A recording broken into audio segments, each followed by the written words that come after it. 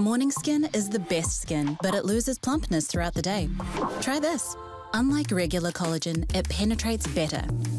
New Olay Collagen Peptide. Plump and bouncy skin all day long.